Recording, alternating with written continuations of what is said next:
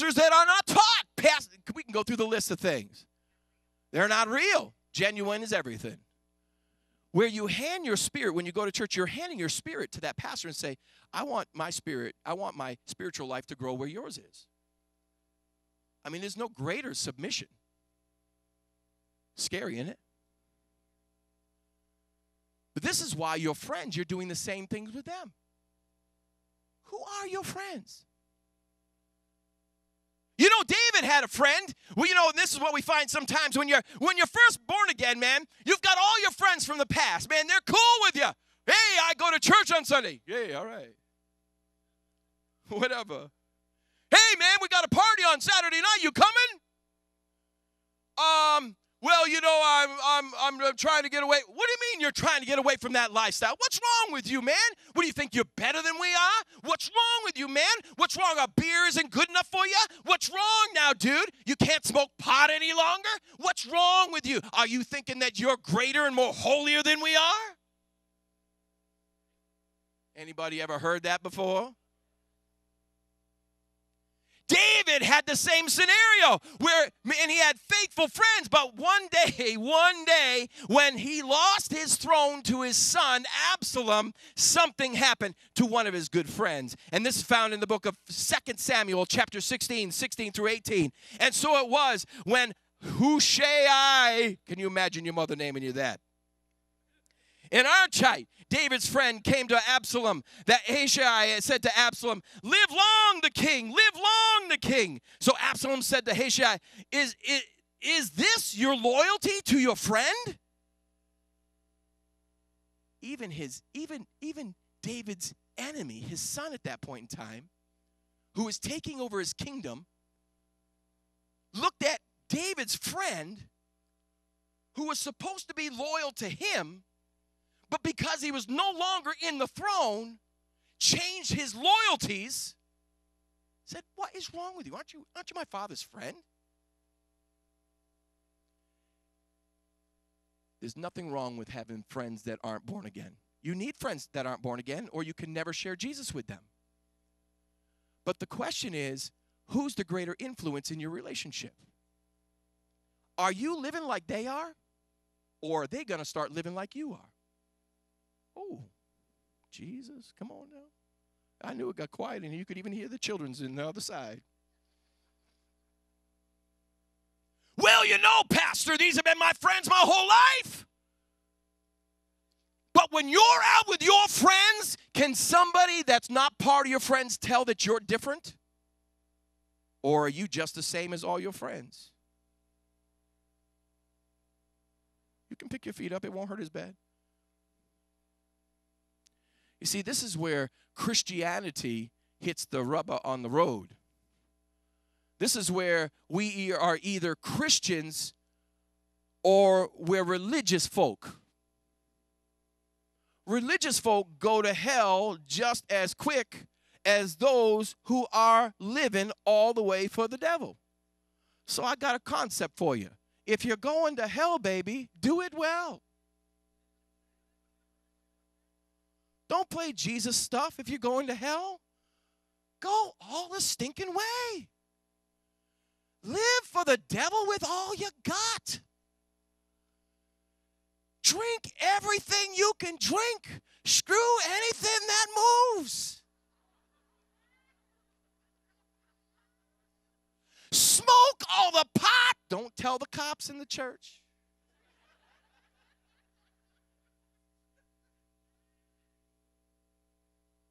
I say, if you're going to go to hell, do it well.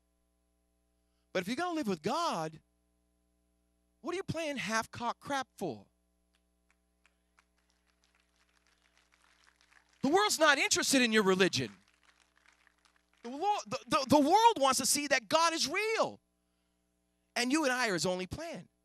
You see, and this is what happened in the first century church. These people got saved. Now, I want to remind you what happened when these people got saved. Their old lifestyle changed, and they started getting into the apostles' doctrine continually. They started fellowshipping with the other brothers and sisters. That means when they were struggling that day with the sin that they had worked with before, they had someone to encourage them and say, Hey, dude, I'll go out to drink with you. They had someone to say, listen, man, I'm here for you. Let's pray together. You're discouraged? Let me pray with you. Ah, ah, you're physically ill? Let me pray with you. They surrounded themselves with the believers. Listen, I'm not talking exclusively because when the, the church of Thessalonica decided that Jesus was coming, they sold everything they had. They moved to caves, and God rebuked them through the Apostle Paul and said, What are you doing up there? Occupy till I come. Get down there, save the lost. It's time to recognize that as a church, we've got to have unsaved friends. The line is when they influence you more than you influence them, it's time to break off friendship, make them an acquaintance, and build friendships that are godly so when you are struggling, you can get strong. Is, am I preaching all right this morning?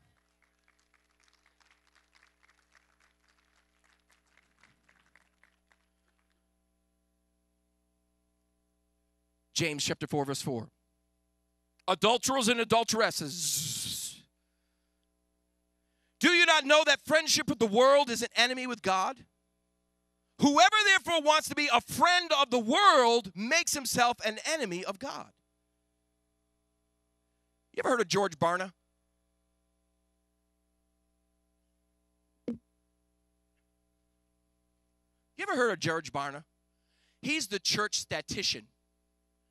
There's actually guys out there that that actually get all the stats for the churches, like how many people are saved, how many people are going to church. Right now, it used to be 80, percent of the church was 80 people or less. Now, the new statistician uh, came out with now it's 80% of the church is 75 people or less.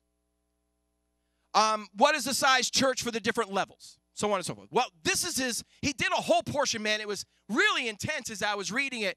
He did a comparison be- between people who don't know God and people who do know God. And the comparison was this the church was only 2% different than the world, and sometimes in the wrong direction. Watch the same movies, give the same amount of money. Come on now. Drink the same amount of booze. Come on, I can go down through all the different sins that he looked at and the world was even with the church. And it means that no wonder the church world is shrinking because I'm still early. No wonder the church world is shrinking because the world who needs God looks at the church and says, Why would I want what they got? I'm no different than they are. No one said perfect. But really, what this all is based on is who our friends are. Because who you hang with is who you become like. Oh, you don't know that that's the Bible? Here's what the Bible says. Here's what the Bible says. Where is that? There we go. First Corinthians chapter 15 verse 33. Don't be deceived. Evil company corrupts good habits. Come on now, you know what I'm talking about. Anybody here ever work in the trades? I did. My father was a contractor up in Boston, and we did a. Where's that baby? Where's Eli? Aw. Where's your baby?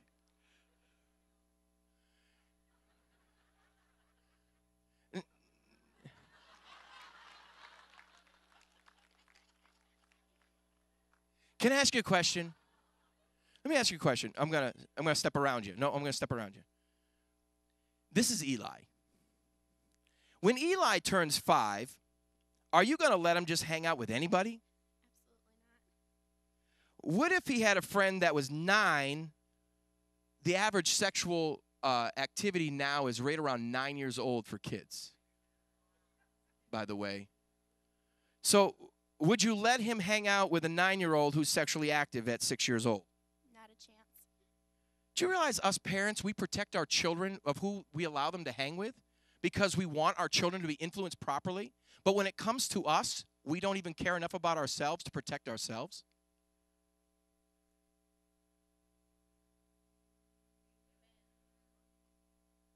Jesus. I didn't figure this was going to be an easy sermon, but you know. I'm almost done.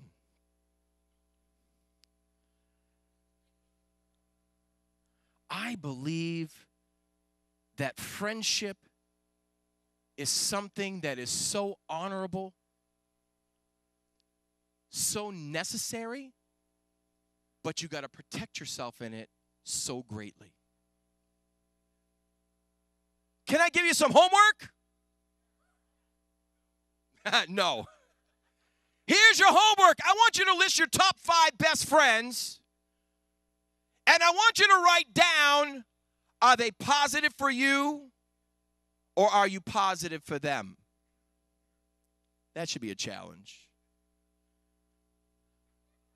The Bible declares, let's look at the verse here real quickly. I'm almost done. Really, I am almost completed. Okay, I had this verse. There it is. Second Corinthians chapter 6 verse 14. Be unequally yoked with an unbeliever. For what fellowship has righteousness with lawlessness? And what communion, koinonia, friendship, has light with darkness? My passion is to see God's house grow. My passion is to see people saved that don't know God. My passion is to see people that have never thought about God, never cared about God, all of a sudden have an apocalypse, an unveiling in their spirit. They have a revelation that God is not just there, but God is good and God is for them. And God will wash away every single stain. I love God taking a life and transforming them to where when you look at them five years later, you would never even fathom where they came from. But it's not going to happen on accident. The truth is is that you are the plan of God. And if you're not the influencer in your relationships, you're the influenced in your relationships. The Bible says, don't be unequally yoked with an unbeliever. We always look at that in relationships. And you know, I found too that most Christians really could care less what God has to say. I'm having a good time this morning now. I watch young ladies and young men choose relationships with an unbeliever and wonder why they're no longer serving God after a short period of time. Duh. But then I watch the same thing where they choose friends that aren't believers who they don't influence, and then within a short period of time, they walk away from God. Your success and my success in our walk with Jesus is not an accident. Your success in your relationship with your spouse is not an accident. If you spend no time with your spouse, if you do not learn who your spouse is, you will be alone. And it's no different in the house of God. You need friends. You need people around you that when hell opens up and tries to lick your stinking toenails, that you have fire extinguishers all the way around you. You got believers who aren't just weak, but people of faith. People that will say, in the name of Jesus, we're not standing next to you. We're holding your hands up. We're believing with you. Listen, you're not all by yourself. I'm right here with you. We need believers to be friends and strengthen us that when you are down, you have someone to lift you up. That when you are struggling, you're not by yourself. That when you are good and they are bad, you've got a way to restore them. Who are your friends? Do you even have any friends in the body of Christ? I hear this all the time, and I really just want to vomit on it. I like word pictures.